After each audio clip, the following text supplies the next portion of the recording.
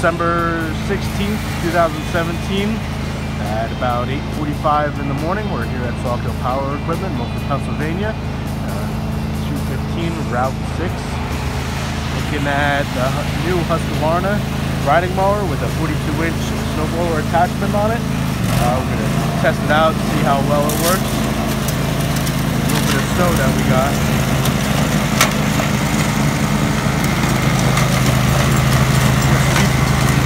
Snow about 25 feet in air up to the power line. That's pretty good.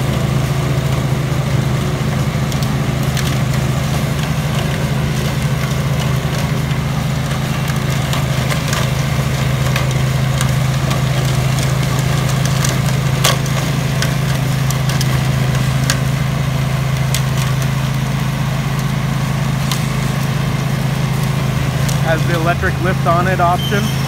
Gotta do is press the button, lifts up, press it again, lowers.